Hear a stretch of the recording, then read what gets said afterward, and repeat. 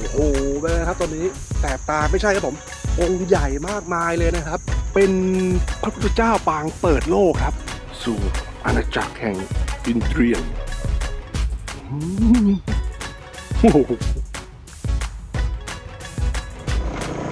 และจุดท่องเที่ยวต่อไปของเราครับก็คือ วัดมหาธาตุวชิรมงคล หรือที่เขาเรียกว่าวัดบางโทงนั่นเองฮะมาถึงแล้วครับ โอ้ด้านนี้ครับผม ไปตรงนี้ก่อนเลยนะฮะ องค์พระสัมมาสัมพุทธเจ้าองค์เบลเลอร์เลยฮะ โคตรใหญ่ครับ ชื่อว่าพระพุทธสิริคุณาทอโลโอชุยามากมายครับผม ขึ้นชื่อแล้วกันอ่านเอาเองทีมภาษาอ่านไม่ทัน โอ้โหเป็นไครับตอนนี้แสบตาไม่ใช่ครับผม องค์ใหญ่มากมายเลยนะครับ แล้วก็แสงย้อนเข้ามาด้วยพอดีก็เลยแสบตาไปได้ในตัวเลย เป็นพระพุทธเจ้าปางเปิดโลกครับ งค์ใหญ่แบบตึกน่าจะมีเป็นสิบสิบชั้นเลยทีเดียว ช่วงเวลานี้คือเวลาบ่ายสามโมง ซึ่งแน่นอนว่าคุณก็จะได้แสงสวยๆจากด้านหลังของท่านนะฮะถ้าอยากได้แสงสวยยามเช้าก็ต้องมาก่อนหน้านี้นะฮะ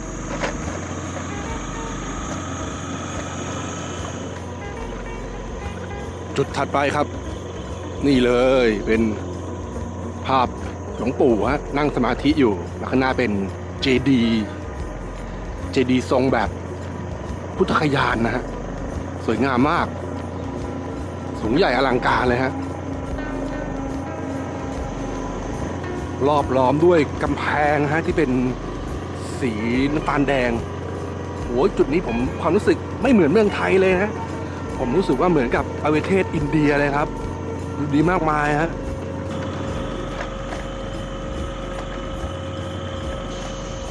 โอ้ตอนนี้แบบว่า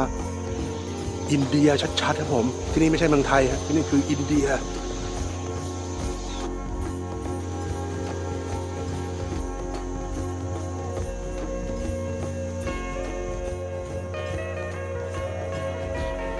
ถ้าพร้อมแล้วเราก็ไปกันเลยครับ สู่อาณาจักรแห่งอินเดียนอืมโอ้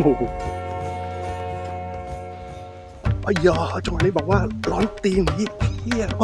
ขอวิ่งฮะร้อนตีนมากๆร้อนตีนมากๆมากๆมากๆมากๆมากๆมากๆอ๋อร้อนร้อนร้อนร้อนร้อนร้อนเข้าไปชมภายในกันเลยนะครับผม ว้าวงามสุดๆ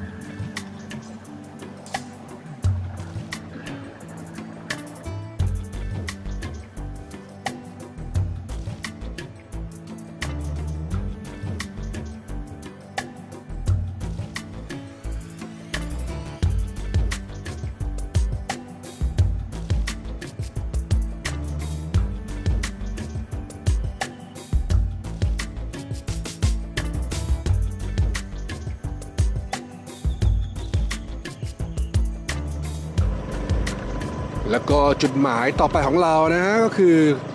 ไปคาเฟ่กันดีกว่านะลุยมาทั้งวันแล้วนะฮะเหน็ดเหนื่อยอย่างยาวนานขอไปแบบว่าผ่อนคลายชิวๆบ้างนะ ที่นี่เลย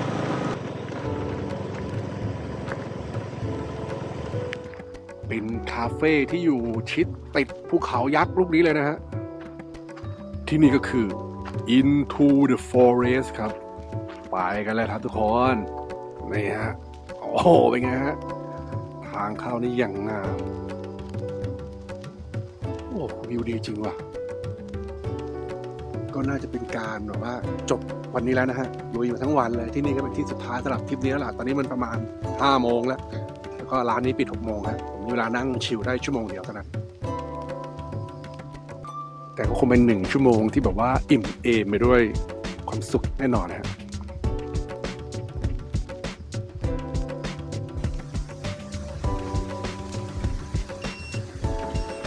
วัสดีครับหนึ่งท่านครับผมตรงไหนนั่งนั่งสุดข้างบนครับได้อ๋อเราคือไปนั่งแล้วก็สั่งในเมนูนะได้เลยครับวิวสวยๆเลยอ่าคุณน้องเขาบอกว่าจุดสวยของที่นี่ก็คือขึ้นไปนั่งข้างบนเลยครับเขามีหลายโซนมากเลยนะ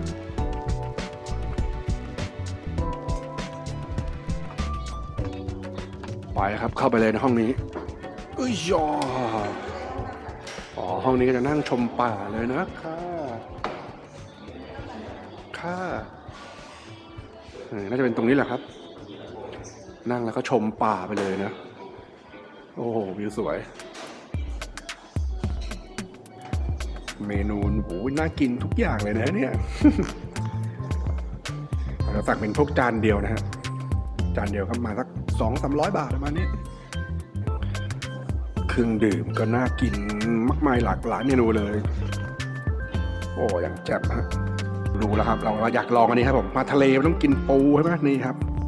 ข้าวผัดน้ำพริกเผาปูนิ่มทอดกรอบนี่เป็นไง เมนูแปลกด้วย ได้แล้วครับข้าวผัดปูนิ่มทอดกรอบนะฮะโอ้เป็นไงฮะน้องน่ารักน่ากินมากเลยนะจัดเลยดีกว่า กินก้ามปูก่อนเลยครับผมโอ้เพิ่งเห็นเนี่ยว่ามีไข่ดาวให้ด้วยนะครับเนี่ยอืมเห็นไข่ดาวก็น้ำลายไหลเลยนะครับพวกไข่ดาวแบบว่าอย่ามาปูเยิ้มๆประมาณนี้เลย นี่เลยคำนี้โอ้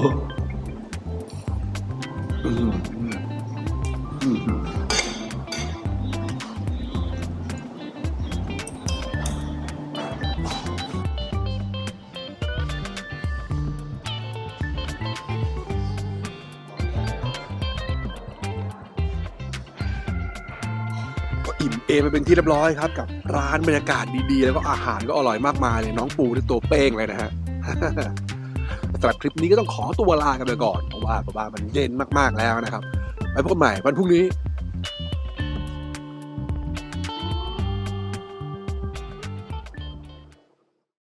ป้ายบอกทางไปสระมรกต1,000 เมตรเท่านั้น เราก็เดินมาจนสุดทางครับ ขออนุญาตเอามือแบบว่าจุ่มน้ำหน่อยแล้วกันนะฮะโอ้ยน้ำเย็นเจี๊ยบเลยครับลงไปน่าสดชื่นน่าดู และข้างหน้านี้ก็คือบลูพูนั่นเองครับ โอ้โหเป็นไงครับ สีนี่แบบว่าน้ำเงินเข้มเลยนะ ผมจะให้คุณดูผ่านกล้องนะฮะเป็นไงครับ กล้องนั้นสีเข้มของจริงนะแม่สุดยอดจริงฮะ และในที่สุดเราก็มาถึงแล้วยังน้ำตกร้อนนะฮะ เหลี่ยมนี้ก็เป็นอีกเหลี่ยมหนึ่งที่สวยงามอยู่ริมน้ำตกเลย โอ้คือออนเซ็นการแจ้งที่ดีมากนะน้ำก็ไม่ได้ร้อนเกินไปใช้เวลาปรับตัวแป๊บเดียวนะจุดจุดๆนี้ต้องมากันให้ได้นะครับ กับน้ำตกร้อนแห่งกระบี่นะสุดยอดเลย